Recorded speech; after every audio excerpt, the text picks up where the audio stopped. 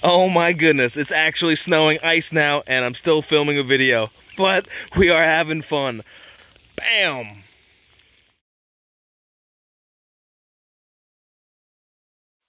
Hey, what's up guys? I'm Dan H and welcome back to the project. In this video, we are doing another product review. Only it's not a car part. This is actually a flashlight. It's a combination spotlight and floodlight, and it was sent over to me by Joyce from the Z-Moon company. Uh, this is actually a, a Sanlinkee flashlight made by the Sanlinkee company. So I guess Sanlinkee and Z-Moon are partners, so we got ourselves a new flashlight free for the testing, and uh, we're going to open this up and dig in and see what's inside and how it works.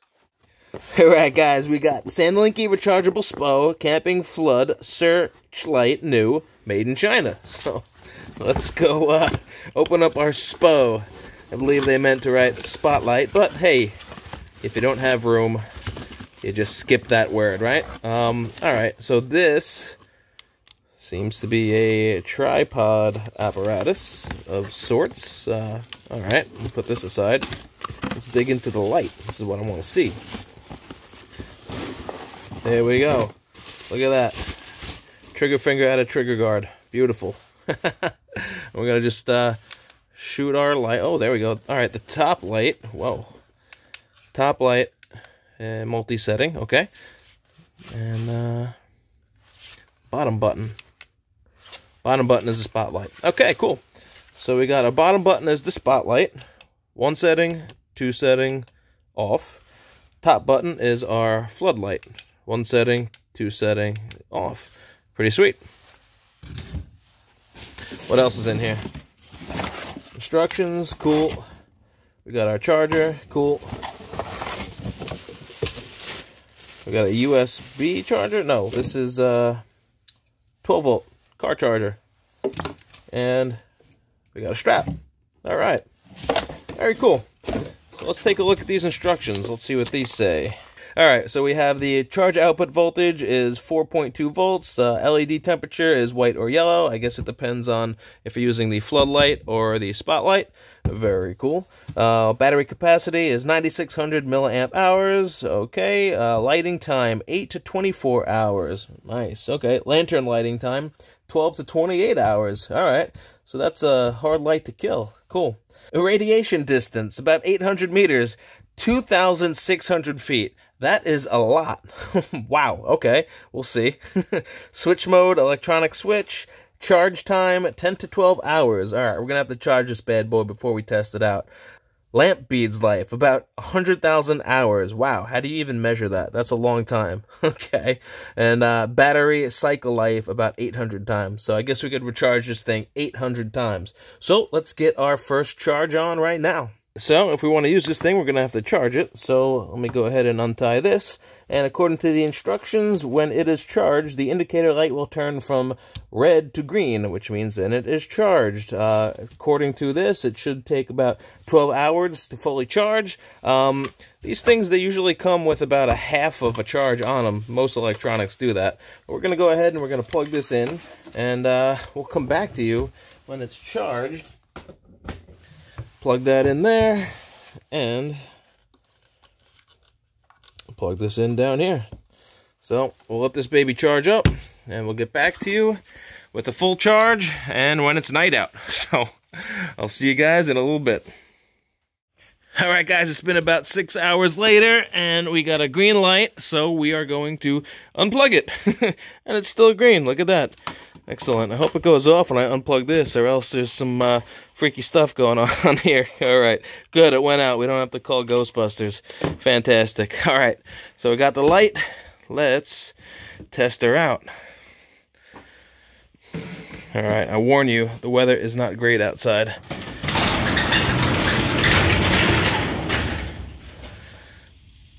Ooh.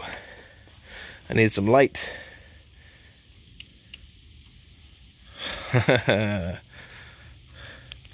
it is snowing ice right now. But look at this light. This is a pretty powerful light. Holy smokes. That is one sharp beam. That's actually pretty impressive. Whoa.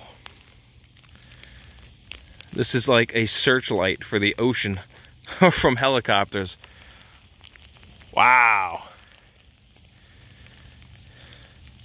I'm actually impressed with this. That's the full power. That's mid power. That's off. Cool. All right, guys, we are walking to the street and it is dark. Can't see it, so let me light the way over here. All right, uh, this is a 6,000 lumen light. So I'm gonna give it the distance test. I am standing in the middle of the street, which is not safe at night, but it's a good thing I got a powerful light. Here we go. That stop sign, dead in the middle, is about 400 feet away according to Google Maps. I just checked it and we are, wow, we are blazing that light up. That's 400 feet away, guys. And you can see all the rain in the frame as a reference.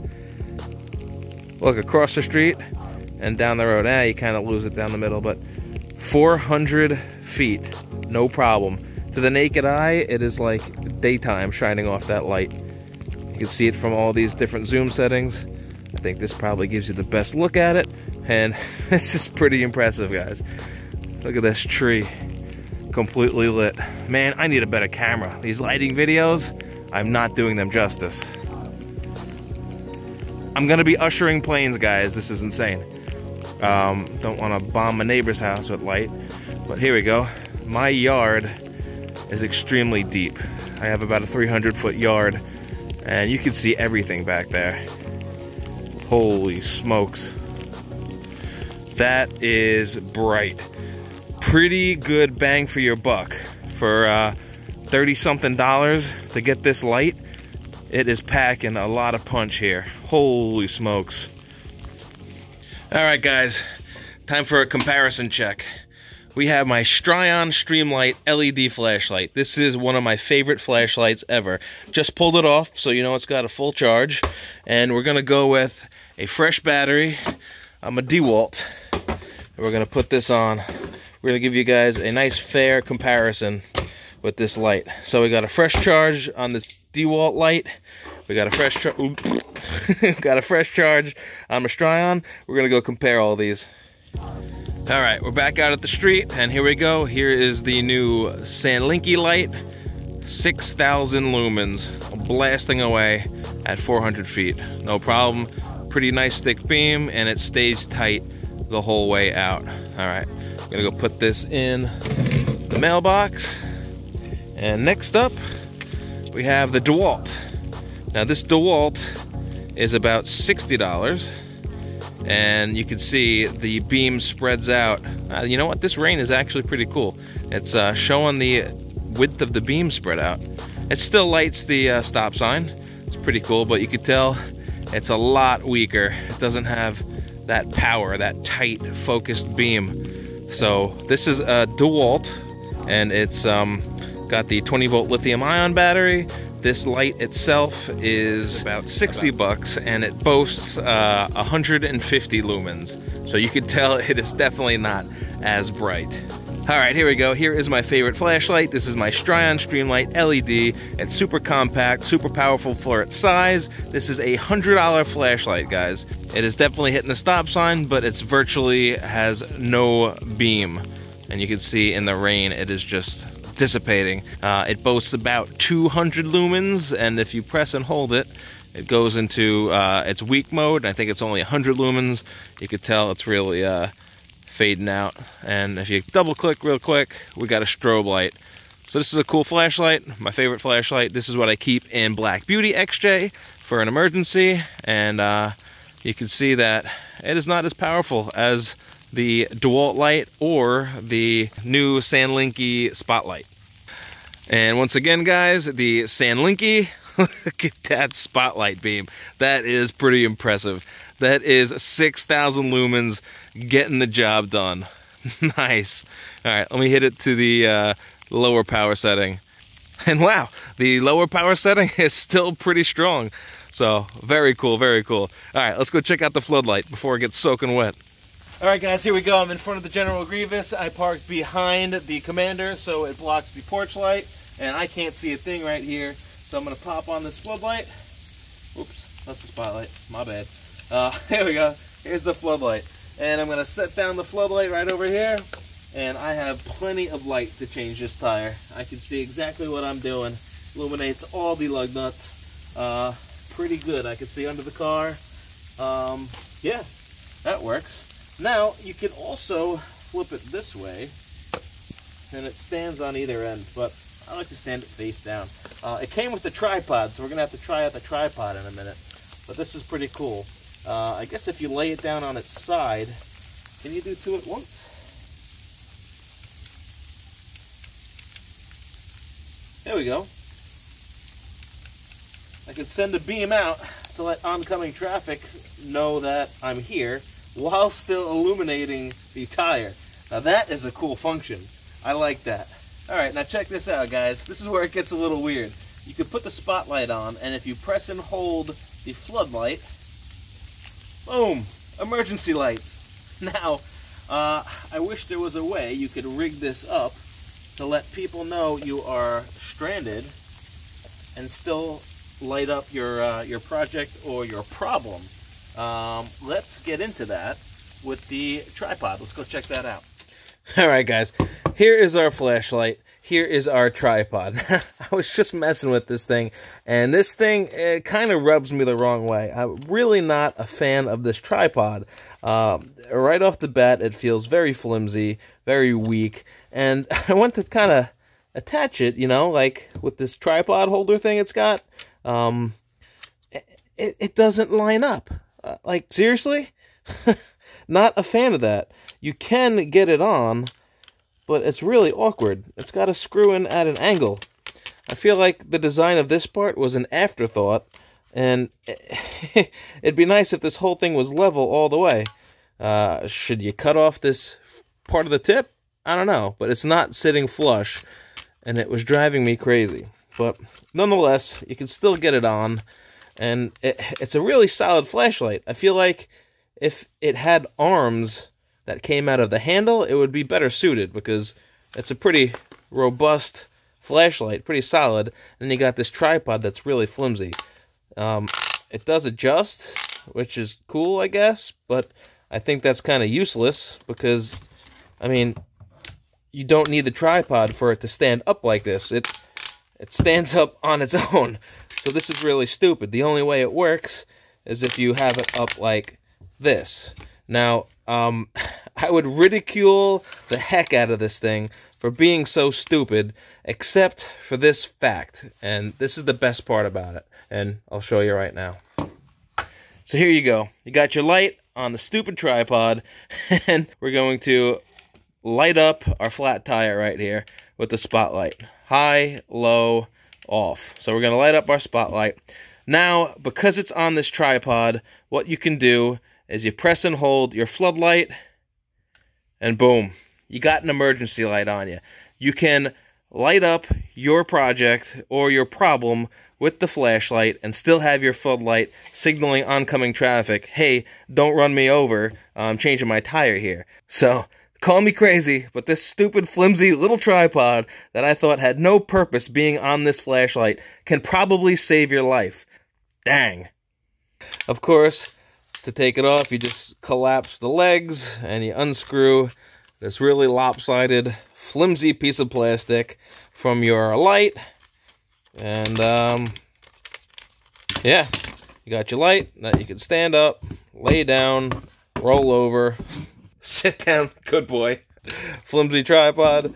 What else does it have? It does have the USB charger, not the USB charger, the 12 volt car charger. So that's good. And it's got your strap, your harness, which is self-explanatory. You just click it on here and you have a holder for it. So that's it. That is the light in a nutshell. It's really cool light, and um, I'm glad I have it. Uh, Again, I can't believe I could say this, but this could save your life. You put this on flash mode, whatever, emergency mode, and still light up your area. That's cool. Um, the price of this is reasonably affordable. Heck, you could buy two of these things. You could light up your area with the floodlight, and you could set up another one and have your emergency light. Um, if you have room and storage for it, get two. But yeah, um, I'm going to hold on to this one. I guess I'll hold on to this one because you never know when you're going to get a flat tire. So all that's left to do is test this thing for battery life. Alright guys, time to test the battery life of the new flashlight. So we're going to run the spotlight on full power, and for a comparison, we're also going to run the DeWalt light, and we're going to run my Strion Streamlight flashlight. So what we're going to do is, we're going to plug in the old alarm radio, the old clock radio. Let's see if I can set her up here. We're going to see how long this sucker runs. Gonna plug it in. There we go. We are flashing on 12. Let's power these things up. Full power, all of them. There we go. And we're just going to let this thing run. So either I'm going to run out of battery or I'm going to run out of light. either way, we'll see how long this light can stay on. So here we go. I'm going to shut the lights off. I'm going to close up shop, let this thing run, and I will see you guys in the morning.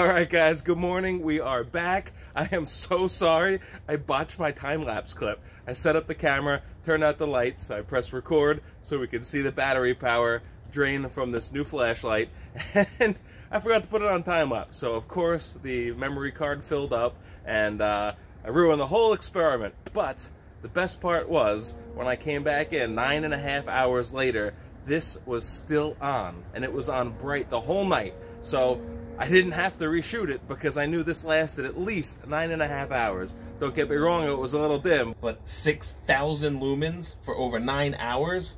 This thing is impressive. That sold me on it, and despite the fact that that tripod is really stupid and flimsy, it really comes in handy when you're putting this thing on emergency mode, and it lets you light up your project or problem at the same time. So I'm going to give this thing two thumbs up. Um, I'm going to get a couple for Christmas gifts for uh, my friends and family. So uh, maybe you guys could do the same thing. I'll leave the link in the description below. And uh, this is pretty cool, man. I really like it. So thank you for watching. Remember to like and subscribe. And I will catch you guys on the next project. Peace.